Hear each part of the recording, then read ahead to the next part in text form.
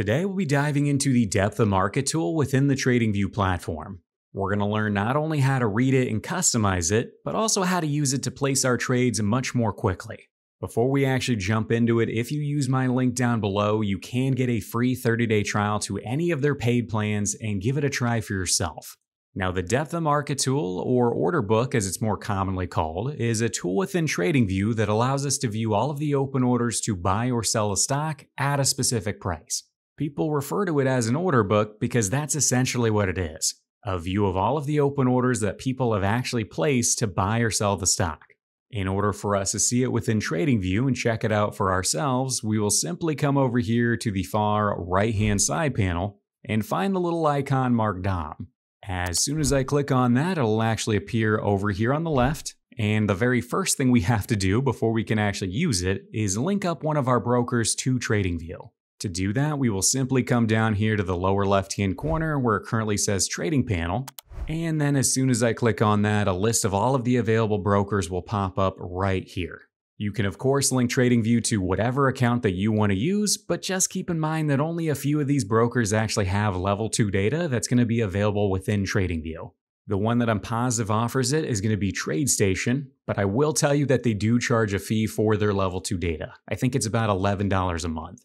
Now in my case, since I don't have a TradeStation account right now, I am just going to come over here and click on paper trading and connect it to a paper money account. Now that that's done, I can actually see I've got my account linked up right here, and it actually shows me that I currently have an American Airlines position in this account. But coming over here to the right, if we go back to the DOM or the depth of market tool, at the top it's actually showing me we're currently looking at a DOM for SPY, or the S&P 500 ETF. There's clearly a lot of information to see on this very little screen here, but we're going to break it down one step at a time. The most noticeable thing that you'll probably see right off the bat is the price column running vertically up and down the center of the screen. This is going to be in reference to the price of the underlying security that we're looking at right now. So again, in this case, SPY. At the moment, each of these is going to be a penny increment. So if we look here, it says 380, $380 and one penny, two pennies, and so on. Now, the numbers that we see to the left and the right of those prices are actually going to be the open buy and sell orders for this particular stock. The numbers are going to tell us the actual size of the orders themselves, so how many shares are available at those particular prices. So, for example, if we were to come over here to the left, we can see an open order out there to buy 500 shares of SPY at 380. Right above that, we can see an open sell order to sell 500 shares at 380.06. So again, all of the open buy orders are going to be on the left, all of the open sell orders are going to be on the right.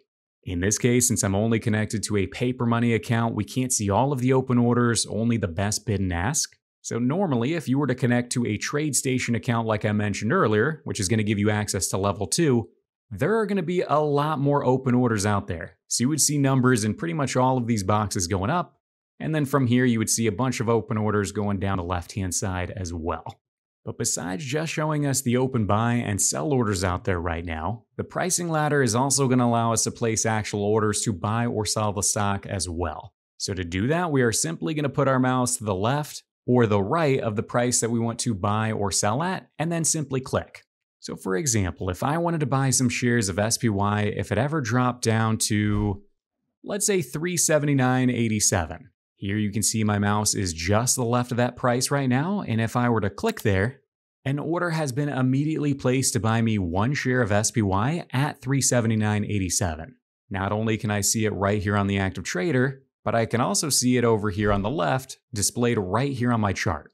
I could also adjust that by simply clicking and holding down on the order ticket and then dragging it down or up if I wanted to move the order ticket. Now later down the line, if I wanted to cancel that order, I would simply hit the Lex button over here on the right hand side. If we instead wanted to short SPY because we thought it was going to go down in value, we can come over here to the right hand column and simply put our mouse to the right of the price that we wanted to sell at. So in this case, if I wanted to short SPY, if it ever went up to 380.09, if I were to click in the little box just the right of it, an order has now been placed to short the stock at 380.09. Just keep in mind that that is not going to happen unless the bid price over here, the price that it currently says is at 380, moves up to the price that I just tried to sell it for. So if I instead wanted to short the stock immediately, I know I would have to come all the way down here to 380 and click in the box just the right of that in order to fill right away. Because right here it's telling me that at the moment there is an open buy order out there to buy 500 shares at 380. So I could sell to them if I wanted to.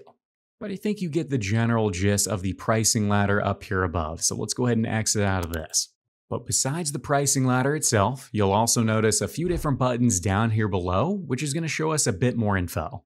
The very first two boxes, the ones that are empty at the moment, are going to show us our current position, then to the right, our current profit or loss on the position. Since we don't have any shares of SPY right now, they are both blanked out. But if I were to come up here and flip this over to American Airlines, since I do have an American Airlines position, Coming back over to the pricing ladder on the right, you can actually see I've got a short position on American Airlines. So I shorted five shares of stock at 1380. To the right, it's telling me that I'm currently down $2.60 since shorting it. But besides those two info buttons, if we were to look down below at the three buttons right below that, we can see the very first one here, the flatten button. This is going to be used to quickly exit our entire position. So if we wanted to get out of our entire American Airlines position immediately, we would simply hit flatten and it would get me back to zero shares. If we were to instead come over here and click on the cancel all button, it would cancel any working orders I have out there to buy or sell American Airlines right now. So in my case, the only open order I have is down here to buy back this short position if it ever goes down to 12. So if I did come down here and hit cancel all, it's going to cancel that working order to buy back the short. Now finally, the very last button in the list here, the reverse button, this is going to be used to completely flip what we're currently doing. So in my case, since I am currently short five shares of stock, if I were to hit reverse, I would instantly buy back my five shares, then buy another five on top of that. So essentially, I am instantly going into the exact opposite position that I currently had. Now looking right below that, we can see the quantity box where we can actually specify how many shares we want to buy or sell anytime we initiate a trade. That's going to apply to both the buy market and sell market buttons right here, but also to the pricing ladder right up here at the top as well. But really, that is the gist of the DOM or the depth of market tool within TradingView, and I will tell you with a little bit of practice, you're going to get the hang of it pretty quick. Hopefully after this, you're at least a little bit more comfortable with the DOM and how it can be used to place your trades more quickly, but like I said, with practice, you'll be fine. Now, I've also made a completely separate video on how to create bracket orders within here, so go ahead and check that one out next. Otherwise, have a great rest of your week, and I'll catch you on the next one.